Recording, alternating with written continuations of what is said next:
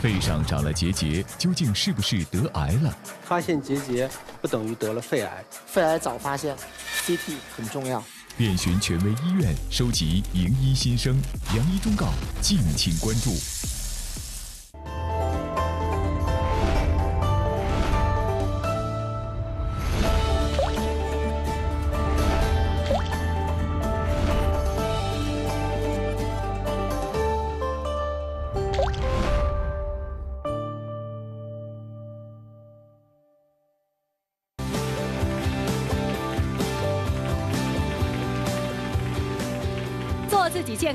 一责任人，大家好，这里是中央广播电视总台央视的健康之路节目。本栏目由吉林敖东安神补脑液独家冠名播出。遍寻权威医院，收集名医心声。今天呢，我们将走进北京大学人民医院的胸外科。该科室呢是成立于一九五二年，是我国成立最早的胸外科之一，在胸外科的多种疾病的诊疗上处于国际领先水平。这个科室呢一直秉承着自己的宗旨。可以概括为三最，为每位患者提供国际公认的最佳的治疗方案、最好的治疗方法和最全面的医疗照护。那让我们通过短片来认识一下今天来到现场的三位胸外科专家。杨帆，肺癌追杀者，掌握蛛丝马迹，将肿瘤一网打尽。刘彦国，肺脏修补师。不让隐匿的肺部损伤夺去你的生命。周健，肺结节审判官，让你看清真相，与结节和平共处。让我们掌声欢迎三位专家，欢迎你们。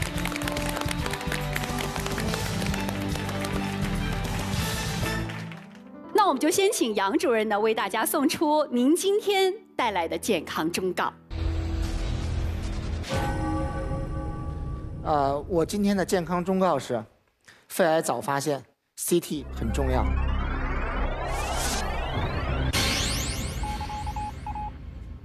今天我给大家带来两个烟民的故事。呃，第一个故事呢，烟民老刘，呃，抽了三四十年烟。老刘呢不太喜欢去医院。也不体检，那么有一天呢，开始咳嗽，大概咳了半年多，而且人消瘦。那么等最后迫不得已家人让去的时候，发现是肺癌，而且是晚期。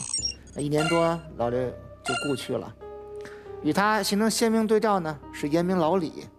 老李呢也抽烟，但跟老刘最大的不同，是他愿意体检，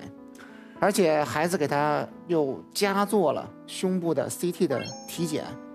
然后在某一次胸部的 CT 检查中，发现肺上有问题，然后后续诊断治疗发现是早期的肺癌。手术以后，老李被治愈了，那么从此老李过上了健康、幸福和长寿的生活。那您提到的那第一位烟民老刘，他以前是没有检查过肺的，没有做过 CT 的是吗？是的，他就缺了一个环节，体检，CT 的体检。嗯，所以看来做 CT 的检查来观察我们肺部的变化，真的是非常的重要。那可能对于很多的观众来说，我们现在可能还没有搞清楚，我们常规体检当中拍的胸片，还有刚刚您反复强调的 CT，它到底有什么样的区别？为什么如果我们要是去做 CT 检查的话，就可以及时的观察到我们肺的一些病变了？我们可以结合道具帮助大家来理解。杨主任，这个面包是用来模拟什么呢？这个面包是用来模体模拟人体，呃，来这个展示一下为什么什么叫胸片，什么叫 CT。那么胸片呢，实际上是一个前后对穿的，我们说投影。你好像我把这个面这个面包拍扁，这就是一个胸片。嗯，它是看到从前到后的所有压缩在一起的一个投影。嗯，所以我们看不到里面每一个层面的细节。嗯，那从这个面包哈，您刚才提到了，也是来模拟我们人体的肺部，好像只有长在外边的这些位置的，这个是葡萄干儿，才能够看得一目了然。如果它要是长在里边的话，胸片就看不到了，对不对？呃，或者说我们能看到的，只是肺上所有，包括葡萄干儿，包括面包在一起压缩在一起的投影。那么它能够区分的这个能力比较差，所以我们看一张胸片，里面只有淡淡的浓与淡，淡淡的白与黑，嗯，所以呢，里面很多细节无法显现。而我们看到的 CT 所谓断层，往往是一堆片子，啊，每一个片子上有一个一个像，所以它提供了远远这个百倍、千倍的信息。我们可以把面包来给它分开，分成一个，哇，这个这个断层。嗯，那么某种意义上，我们所看到的这个 CT 的影像，就是我们这一个断层的这一个面。我们在现有的技术，在我们的系统上，能把这个面做到多薄？常常是一个毫米一层。哦，所以我们相当于可以把一个人体变成了一个毫米一层，每一个层面所看到的走形纹理里面的葡萄干，我们都可以清晰的看到。所以 CT 使得人类第一次有办法看到体内的解剖的细节，嗯，因此使得我们有能力发现早期的病变，无论这个病变是好的还是坏的。明白了。你看，刚刚呢，杨主任模拟说，哎，当我们切开的时候，这就是 CT 在工作，把它切开，看到这里边有一个小葡萄干儿，那可以想象，可能这个就是长在肺上的一个癌变的组织。但是，如果要是拍胸片的话，你从这个面儿是完全看不到的，是不是？嗯，所以大家能够感受到 CT 的检查有多重要了吧？呃，现在国际上大家已经公认，就是仅仅三次螺旋 CT 的普查可以降低肺癌死亡百分之二十，同时还可以降低其他无意中能被 CT 发现的疾病所引起的死亡。好，非常的清楚了。谢谢。嗯，我们可以撤掉道具。请杨主任再一次强调您送给大家的健康忠告。我今天的健康忠告是：肺癌早发现，CT 很重要。好，那今天现场呢，我们也请到了青年组、中年组和老年组三组嘉宾。听完杨主任的介绍之后，大家相信啊，心中还会有一些疑惑。那接下来呢，我们就进入到随堂提问环节。报告，我有一个提问。其实通过主任的讲解啊，我跟我同桌还在聊，说根本就不知道胸片和 CT 的区别，今天才刚刚知道。所以其实我们去体检的时候，有的时候不会去主动去体检 CT。所以我的问题就是，什么样的人群去需要去体检 CT？这就是我的问题。好，我们来看一看青年组丁丁要关心的问题是什么。丁丁想了解什么样的人需要去做 CT 检查呢？呃，这是一个非常非常好的，而且是一个非常非常重要的问题。应该说，第一，对于肺癌检查来说，CT 是有效的；第二，CT 的辐射是有害的。嗯，所以我们要很好的去平衡得到的潜在的好处和必然产生的坏处。那么，用国际上大家公认的一个这个想法，就是我要找到最有可能从中获益的人群来做 CT，而不是把 CT 用于所有人群，特别是不能滥用于中青年的这个人群，因为辐射是有害的。大家认为，就是一天一包的情况下，二十年。或者一天两包十年，特别是家里有别人得肺癌的高危人群，去做 CT。现有的标准是，一年一次低剂量螺旋 CT，因为低剂量螺旋 CT 比比我们医院平时用的这个螺旋 CT 剂量要低。为了降低在他有生之年每年一次检查所带来总共的辐射的危害，嗯，非常好的问题。好，那听完之后，其他两组嘉宾还有问题吗？报告，我还有一个问题，我身边就有朋友得了肺癌，就是发现的时候已经晚期了，而且转移了，那么一年多这人就走了。呃，实际上我们身边好多人呢，就是说感觉自己不舒服啊，也知道可能有点什么问题，但是呢不敢去面对，不敢去查，特别是癌，嗯，一听就是绝症，所以呢，我就想问，请问专家，就是说这些老年人要真查出得了癌了，还能治愈吗？好，我们看看老年组何叔叔最关心的问题是什么？他想了解，发现肺癌能够治愈吗？呃，先用一句话回答问题。相当比例的肺癌是可以治愈的。那么，而且这种治治愈的机会，随着发现越早，这种机会越大。嗯，那么，如果我们把得罹患肺癌当做人生的一场劫难的话，那我们越早的发现这个劫难，我们就能越好的度过这个劫难，从此能够幸福长寿的生活下去。嗯，所以回答应该是肯定的，它是可以治愈的。这张图呢，实际上用我们说呢是叫做五年生存率。呃，恶性肿瘤呢，往往使用这个指标来代表治愈。嗯就大家认为，如果能够很好的活五年没有问题的话呢，大概就治愈了。那么，所以呢，我们现在看到的比例呢，就是不同的肺癌的早与晚所时候，它对应的五年活下去的机会。那么这个百分比呢，可以当做一个机会。所以我们看到一个早期，比如像一个一，它叫一 A 一，那么它到五年都没有问题的机会，大概超过百分之九十，九成以上没有问题。这是早期的一期，一 A 二呢，八成以上没问题，一 A 三八成。可是我们看到最后的时候，到四期，这是最晚的真正的晚期，嗯，有没有治愈的机会？有，一成。因此呢，我们实际上是希望把病魔扼杀在早期的阶段，使得它有更好的机会、更大的几率来达到治病的机遇。这就是我们做所谓肺癌筛查的所有的意义。同时，第二点我想说的是，我们今天的手段使的发展和进步，使得我们想治愈一个肺癌所付出的代价和成本和风险越来越小。我现在比如以这个肺癌早期的手术而言，我们已经有了很好的所谓微创的手段。那么这种手段可以让付出很小的痛苦、付出很小的代价，那么承受很小的风险的情况下，把一个早期肺癌得以彻底的治愈，而且治愈之后呢，不大影响自己的工作能力、生活能力，还可以很好的重返家庭、重返社会、重返工作。所以实际上，这个技术的发展使得早期肺癌不但是一个可治愈的病，而且是一个可以付出很小代价得以治愈的病。嗯，这个微创手术的方式是不是跟传统的手术方式相比较，也有了很大的进步？应该说，这个进步是天壤天壤之别的。我们正好有一个小的这个做了一个小小的动画，我们看到它里面有肋骨的支撑，所以如果我们看到这里面有一个不好的东西需要取出的时候，在传统的办法只能把上面的支撑给掰开，那么这个掰开是非常残忍，而且这个过程你可以想到，我用我们的话说要离断一侧胸壁所有的结构。所以在传统上有一种说法，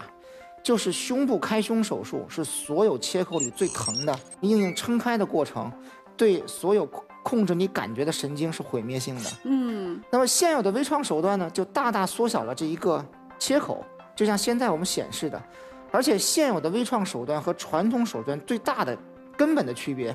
就是我们再也不要去把它硬切开，我们只在一个小小的切口里面，有人说是钥匙眼，完成里面所有的操作。那么同时里面的操作完成的技术的要求、技术的标准和传统是一模一样的，不痛苦，不受罪。对，那么不痛苦不受罪，就带来患者更好的康复，嗯使得它比传统手术的手术安全很多。刚才何叔叔讲到的老年人，传统手术很大的风险，微创手术可以很平稳的度过。那么同平稳了，就代表了住院天数短，就代表了快速的康复。所以呢，又使得一个家庭和医疗成本的降低，包括家庭陪护成本的降低。之后，对他对胸壁的损伤小，又带来了劳动能力的保护，家庭功能的保护，使得他不会因病致贫，也不会因病致残，这样他可以回到正常的家庭身份、正常的社会身份。嗯那么这对一个患者的身心健康是很重要的。所以我们看到了，由一个简单的口口大口小所带来了患者痛苦的降低、卫生成本的降低、治疗关口的迁移，最后的结果是越来越多的肺癌病人能够在初早期阶段把病魔扼杀在摇篮中。刚刚我们在那个动画上看到，通过微创手术在摘取掉一部分的癌变组织之后，它那些剩余的肺部的组织也可以在手术过程当中得以缝合吗？啊，这个事情我们在技术上已经大概二三十年前已经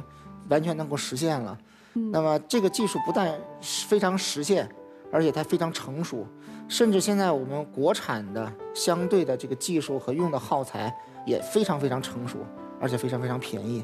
明白了。所以何叔叔像您身边的这些老朋友，一旦要觉得身体不舒服的话，及时的到医院去做检查，不要讳疾忌医。那我们看到现在先进的手段是可以大大降低我们的身体上的痛苦的，而且治愈的效果非常的好。感谢杨主任的介绍。您现在收看的是中央广播电视总台央视的健康之路节目。接下来我们有请周建医生。周医生今天要送给大家的健康忠告是什么呢？我今天给大家带来的忠告是：肺结节离肺癌远着呢。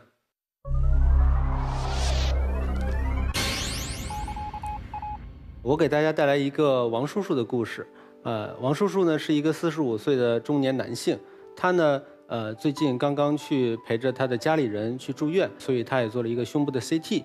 啊，但是呢做这个胸部 CT，忽然发现他的这个肺里边有一个七毫米的小结节。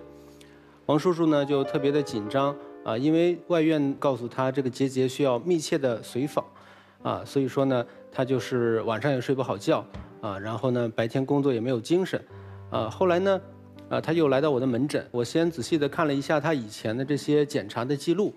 结果发现呢他正好是在半年之前在我们医院啊刚刚好做过一个 CT，他这个结节那时候并没有出现，这种我们要高度怀疑它是炎症的可能。所以呢，我让他去口服抗生素，啊，口服了呃两周之后，又过了一段时间来复查 CT，结果发现呢，啊，王叔叔的这个结节呢，啊，他就不见了，啊，而且呢，他这个呃知道了这个情况之后，也是就不再恐慌了。其实呢，我想通过这个故事告诉大家，啊，就是发现肺结节啊，不要太恐慌，啊，首先建议呢，还是来我们专业的门诊。呃，去我们呃胸外科或者其他的一些相关的科室去就诊，我们去给你专业的指导和治疗，呃，之后我们再看下一步怎么去随访观察。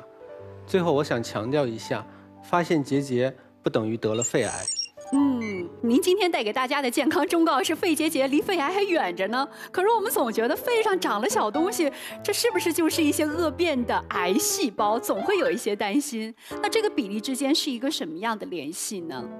其实啊，这个呃，我们因为随着最近这个抗疫的需要啊，我们在发发热门诊，其实胸部 CT 应用的这个比例是越来越高，而且呢，呃，大家的这个体检的意识也是逐年的提高，所以说身边人做 CT 的人是越来越多啊。但是呢，你只要做胸部 CT，其实啊就有一定的几率会发现这个肺内有结节。嗯，我们也统计过我们医院。啊，所有的因为筛查原因去做的这个 CT，呃，一共有呃十七万人啊，十七万例，十七万例呢，其中有十二万例都发现了胸部的结节、肺部的结节，比例很高。对，所以说是超过一半的人都有肺部的结节，但是这些人呢，呃，我们如果说追踪他的这些结果，可能只有百分之五的人啊，或者说其中一小部分人，我们考虑需要密切随访，有可能是这个呃恶性的可能性。所以说呢，呃，从这个比例上来说，肺结节和肺癌它其实还是有一定的距离的。其实呀，肺结节它只是一个我们的专业名词，就是说肺上有一个像结节状的影子啊。但是呢，实际上你肺里只要有一些密度比肺组织高的这样一些组织啊，或者一些结构，它就会在 CT 上展现为一个肺结节的样子。比如说，比如说这个是一个肺内的淋巴结的一个图像。嗯。这个肺内淋巴结呢，其实是我们呃每个人肺中其实应该都有的这么一种正常的结构啊，就像我们这个呃正常的扁桃体啊等等这些，这是我们的一个正常的免疫器官啊。但是呢，呃有的时候有的人啊，比如说这个因为抽烟呀，或者说因为一些炎症导致肺内的这个淋巴结有增大，这样呢在我们一个胸部 CT 上就能看到啊，而且呢。呃，这个其实随着我们现在胸部 CT 的这个发展啊，它的这个层厚越来越薄。那我们像刚才看到的这个切面包的这个情况，呃，我们的 CT 切的越薄，它就越有可能发现更细微的结构。嗯。现在呢，其实呃，像这种肺内淋巴结是发现的越来越多啊，但是呢，它有它的一些自己的一些特征啊。我们一般来说，像这些肺内的淋巴结，它都是呃直径是一公分左右或者一一公分以下。啊，而且呢，它跟周围呢有可能是有一些呃像细线一样的这样一些结构啊，这样呢，在我们医生判断的时候啊，就会更倾向于这么一个淋巴结的一个情况。淋巴结经常会呈现为一个多边形的一个表现啊，这是一个情况。呃，另外一个最重要的一个东西呢，就是淋巴结通常在长期随访中，它一般不会有特别明显的增大或者呃这种变小的情况。这是其中的一种情况，还有什么样的可能性呢？其实呢，我们在肺内还是非常常见的一种这个良性结节呢，是这个我们肺内的炎症。嗯，这个肺内的炎症呢，通常都是因为以前比如说得过一些肺炎啊，有一些感染啊，导致的这个肺内有一些呃反应性的呃增生啊，这样呢，在我们呃胸部 CT 上表现呢，也是一个密度增高的一个影像。啊，有的时候呢，比较典型的呢是一种云雾状啊，它的边界不是很清楚啊，这些呢大多数影像科都能把它判断成是一个呃典型的肺部的炎症。发现之后啊，其实呢还是呃如果说我们判断需要抗炎的话，还是建议先试验性的抗炎啊、抗感染啊，我们用一些抗生素给这个患者用。这个患者就是一个比较典型的，他其实这个肺内的这个结节呢，比较像一个。有一有一些这个恶性的特征，嗯，但是呢，我们给他呃，还是让他首先不要太担心啊。果然，他抗感染之后复查，可以看到在呃旁边的这个 CT 图像上，就看到他的结节是明显的消散变小。像这种呢，我们其实还是考虑为肺部的炎症啊，这也是一个良性的影像学的表现。嗯，还有其他的可能性吗？还有一个呢，就是其实像我们中国呢，呃，和很多的发展中国家都是一个结核的一个好发的一个人群，嗯啊，这样呢，其实，呃，在这个肺内经常会出现你，比如说年轻时候得过一些结核，或者说既往有一些这种特殊的分支杆菌的感染的这么一个表现，啊，呃，在这个肺窗上看呢，它这个结节其实呢，呃，也是有一些毛刺，啊，有一点点的分叶。啊，甚至于有的时候还能看到一些胸膜的牵拉，啊，形态上可能跟这个肺癌也有一些类似。嗯，但是呢，我们如果调到纵隔窗，就会发现啊，在那个红色的圆圈的中间，其实是有一个特别亮的点，这个亮的白的程度呢，其实跟这个骨头其实差不多。嗯，也就是说，这个结节的核心呢是一个钙化，啊，像这种呢，我们可能考虑更大的几率，可能是一个结核瘤或者一些其他的这种呃。感染的病灶，所以说，呃，这也是一个良性病灶的一个表现。嗯，那我听明白了。通过检查呢，很有可能肺上出现的某一些东西，不管是什么原因引起来的，在报告上会体现为肺结节，但并不是所有的肺结节都是肺癌。请周医生再次强调您今天送给大家的健康忠告：肺结节离肺癌远着呢。好，我们三组嘉宾今天听完周医生的介绍之后，有什么样的疑问呢？接下来进入到随堂提问环节。报告，听完专家老师说这肺结节的问题啊，心里特别的担心，因为像我其实有就有结节，嗯，然后我身边很多年轻的朋友也有结节，然后就是挺担心什么呢？就是未来的路还有很长，在这几十年里边，我们应该怎么注意它？是不是我每年都要做一个定期的检查？去看一看他这个这个程度呢？嗯，好，我们看看青年组刘帅关心的问题是什么？长了肺结节要每年定期复查吗？这是一个非常好的问题啊！其实如果我们体检发现这个肺内有结节的话，还是需要密切关注的，因为毕竟呢，它是一个发现了一个呃异常的结构啊，但是呢。按照我们目前的这个现行的这个指南和我们的这个标准的诊疗的流程，啊，我们如果说每年啊，或者说每半年去复查这个肺结节，它没有明显的变化的话，啊，那两年以后我们可以适当的呃拉开这个呃复查的间隔，啊，甚至于你最终可能回到像正常人一样的体检的间隔就可以，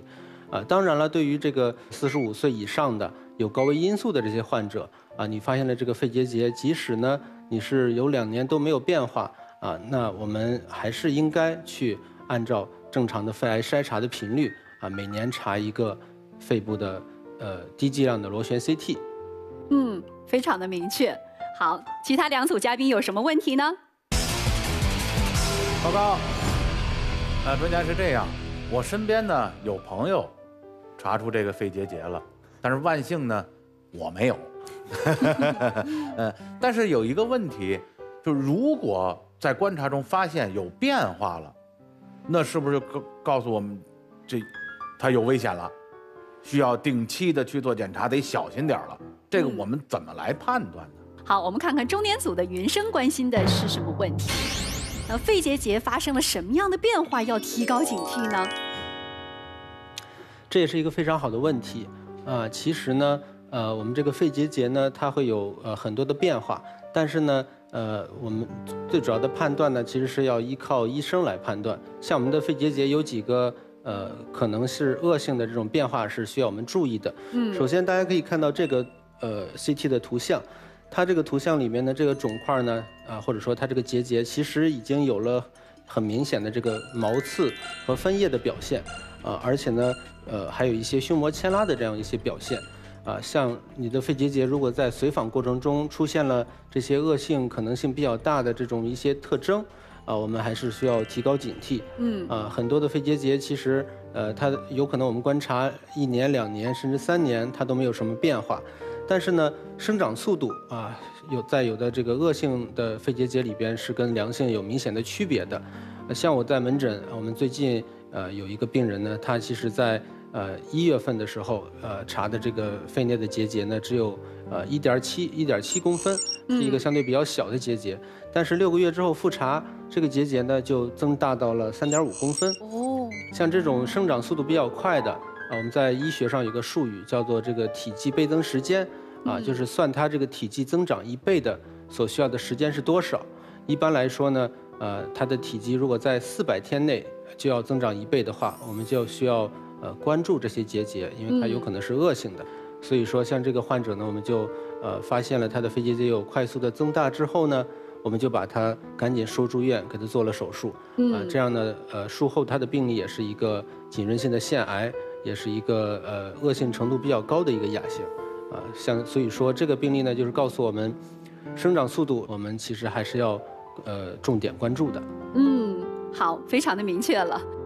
感谢周医生今天的介绍。您现在收看的是中央广播电视总台央视的健康之路节目，本栏目由吉林敖东安神补脑液独家冠名播出。接下来我们有请刘彦国主任医师，欢迎刘主任。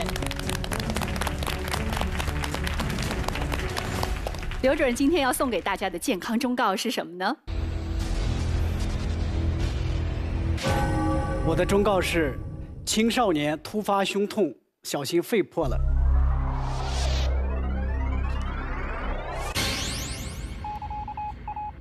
呃我先给大家讲一个故事吧。呃，有一个患者，他是北京呃某个大学的大一的呃这个男生。有一天早上啊，他和平常一样，起床以后呢，洗漱的时候，突然感觉到左侧胸痛。当时呢，疼痛不是很厉害，他就忍了忍，就去上课了，没有去医院。呃，后来到中午的时候，胸痛呢倒是减轻了，但是出现了这个呼吸困难、喘憋。呃，同学们都劝他说：“你去医院看看。”他说想休息休息，观察一下。到下午大概三四点钟的时候，这个胸痛、喘憋症状非但没有缓解，而且越来越厉害，尤其是呼吸困难，这个喘不上气儿，呃，甚至造成这个口唇的青紫，呃，呼呼吸很费力。那么就在同学的这个救护下，送到了附近的我们医院。我在接诊到这个患者的时候啊，检查发现他这个左侧的胸廓呢是鼓鼓的，呃，我们看一下他那个胸片儿，嗯，他的这个左侧胸腔啊积满了气体，这个左肺呢被压缩成一团，缩在了肺门，这个心脏、气管儿还有这个大血管结构呢都被挤到了这个右侧，所以这个是一个很危险的情况。绝大多数黑色的这个部分体现的是什么呢？是气体。原本的胸腔是被这个肺所完整的填充，胸膜腔里面不应该有游离的气体。哦，而这种情况呢是很危险的，如果不第一时间处理，呃，就有生命危险。所以这就叫气胸。其实对于很多年轻人，包括上了年纪的朋友，我们依然不太清楚究竟什么是气胸，就是气跑到了胸腔里吗？对，简单的说就是胸腔里积了气儿，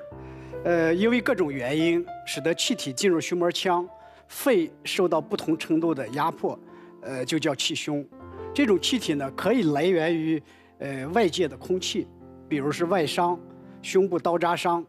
外界的空气可以沿刀口进入到胸腔，这叫创伤性气胸。呃，还有一种呢，就是今天我们要讲的，比如刚才这个大学生的这个情况，呃，肺破了，肺里的气体跑到了胸腔里面，这个呢叫自发性气胸。嗯，我们的肺呢，呃，里面是有呃很多细的支气管，细支气管的末端呢又有很多肺泡，在这个呼吸的时候啊，我们吸气的时候呢，这个气体呢从这个细支气管进入肺泡，呃，让肺泡充盈，然后肺泡体积增大。呼气的时候呢，肺泡缩小，这是这一个正常的呼吸状态。病人他可能婴幼儿时期，呃，支气管，呃，或者肺内有过某些炎症，造成支气管的狭窄。嗯，狭窄之后呢，就相当于我们这个双向车道啊，突然变成了单向车道，这个气体呢只能进不能出，所以造成了我们局部的一小部分肺肺泡腔的压力增大。如果这个人呢，同时啊，他有这个肺的弹力纤维发育不不完全的话，这个肺泡壁比较薄弱，这样的话，肺泡腔压力不断增大，肺泡壁又比较薄弱，在某一些情况下，比如我们吸气屏屏气的动作，或者是咳嗽的动作，或者甚至像刚才那个孩子一样，没有什么特殊诱因的情况下，也可能会破裂，让肺里的我们正常呼吸的气体跑到胸膜腔里面，把肺压扁了，这就造成气胸了。所以这个气胸一旦发生以后啊，它会压迫我们的内脏器官，胸腔里的机器，压迫我们的心脏，压迫肺，压迫这个纵隔的结构，造成这个病人的呼吸困难、胸痛、喘憋。但是，一旦破裂发成气胸，就是一个急症，需要紧急处理的，很危急。是这样的。请刘主任再一次强调您今天送给大家的健康忠告。青少年突发胸痛，小心是肺破了。那刚刚听完我们刘主任的介绍之后，我们三组嘉宾谁有疑问呢？接下来我们进入到随堂提问环节。报告。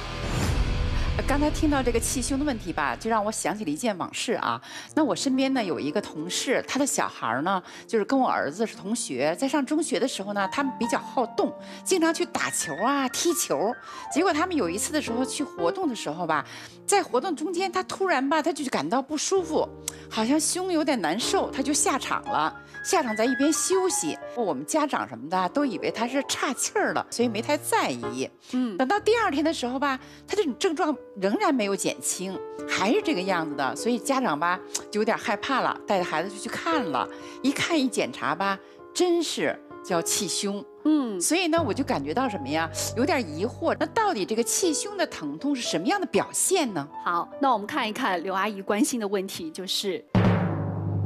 气胸的胸痛有什么特点吗？呃，引起胸痛可以有很多原原因，但是气胸造成的胸痛呢是有它独特的特点的。首先，它是突然发作的；其次呢，它往往是单侧，当然也有双侧同时发气胸的，很罕见。它往往是单侧。另外呢，这种疼痛啊，可以是针刺样，也可以是撕扯样的。还有一个最主要的一个特点就是，它在胸痛发生的同时或者很快会出现喘憋、呼吸困难，这是很重要的一个特点。这种呼吸困难呢，可以在几小时或者几天之内迅速加重，造成严重的呼吸困难甚至呼吸衰竭。它有这些独特的特点，所以就说，如果一个胸痛，呃，同时合并有喘憋、呼吸困难，就一定要警惕是气胸的可能，嗯，要要尽快就诊。明白了。而且刚刚你也跟大家分享了一个病例，那个孩子也是发病的时候在十几岁，然后刘阿姨提到的这个病例呢，也是发病的时候是处在青少年阶段。对对对为什么青少年是特别容易发生气胸的呢？十五到三十岁是气胸发病的一个高峰年龄，目前呢原因还不是特别清楚。哦，呃，但确实存在这么一个现象，就是青少年容易出现气胸，或者气胸的高发年龄在青青少年。呃，一般认为呢，可能是这个呃，这个婴幼儿时期的时候呢，肺部的炎炎症造成气道的阻塞。嗯他这个孩子呢，本身因为各种原因造成他先天性的肺的弹力纤维发育不是很健全。那等到这个慢慢累积，慢慢累积到大概青春期以后呢，这个肺泡的压力越大，呃，就表现的比较明显了，嗯可能就破了，造成气胸，是这样的。所以青少年这些朋友们反而应该高度的警惕自己出现这种特殊的胸痛，对不对？是这样的。嗯，好，那其他两组嘉宾还有问题吗？报告，我有问题要问。那我们知道肺和我们的呼吸息息相关，那我就想，像我们比较年轻的人，运动量就比较大了，那就需要更多的肺活量，那是不是就更容易气胸呢？好，我们看看依林关心的问题是：运动量过大会引发气胸吗？不是这样的，我们正常的健康人，无论多大的运动量都不会引起气胸。嗯当然，平时我们可能也遇到过说，有的孩子，呃，打球的时候或者其他运动的时候，突然这个喘憋，突然气胸了，说，哎呀，这个是不是，呃，运动量大了就引起气胸？其实不是这样的，这两个没有任何必然联系。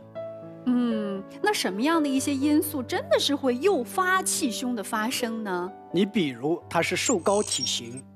呃，瘦高，尤其是瘦高体型的男生，因为男性患气胸的概率比女性高三到六倍。第二点，瘦高体型的人，他这个胸廓狭长。我们知道啊，正常胸膜腔的，